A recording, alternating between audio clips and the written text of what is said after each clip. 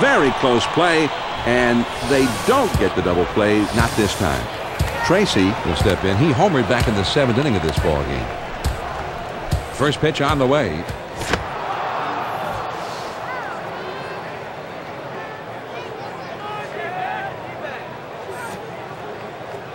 That ball is lifted high in the air, deep down the line and right. And bye-bye, baby, a two-run homer.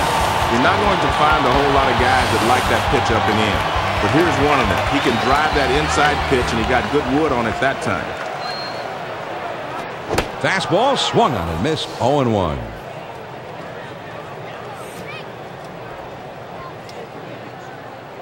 There's a swing and a line drive, and it's through into center field for a base hit. And that gets through for a base hit. And with two down, they've got a man aboard here.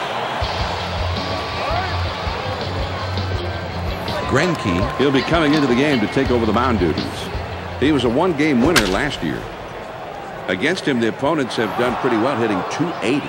And this is hit in the air foul down the left field line. 0-1 the count. Greinke kicks, delivers. Now that he's ahead 0-2, he's got a few pitches he can play with. He'll try to get him to chase something out of the zone.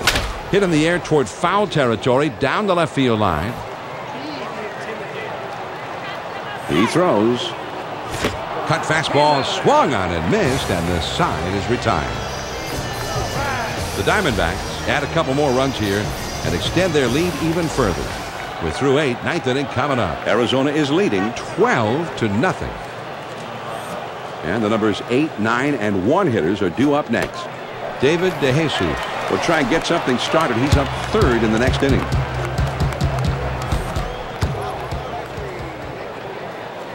Outside, one and one. The 1 1 pitch on the way. Swing and a ground ball to third. Tracy fields it. And he throws on to first for the out. One away. This is a nice play, starting with the third baseman. He fires it over to first base and quickly retires the runner. Here's the big unit, Randy Johnson's first pitch. Swings and misses at the good change. It's 0 1.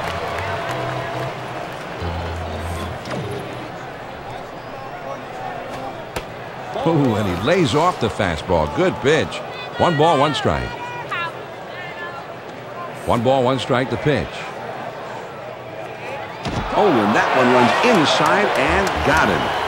One on, one out. Snyder wants him to get that ball right there in the outside corner at the knees. Fastball in there, and it's 0 1.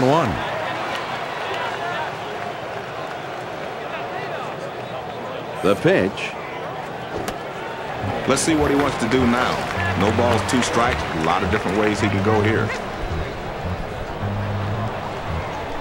He deals. That swung on and grounded up the middle. Drew to second for one and two. A double play. The big unit, Randy Johnson, has done it, Joe. A no-hitter. Well, Johnny had some good defense along the way, but this was more or less his show today. I was lucky enough to be a part of a few no-hitters, so I know how special they really are. The big unit, Randy Johnson, was absolutely brilliant on the mound in this one. And I think it's safe to say that any guy that throws a no-hitter deserves to be player of the game. Well, we saw another dominating performance by the big unit. He's certainly no stranger to this kind of performance. When he's throwing his heater like that, man, the hitters don't stand a chance. That does it for today's game. Until next time, Jon Miller for Joe Morgan saying thanks for joining us this afternoon.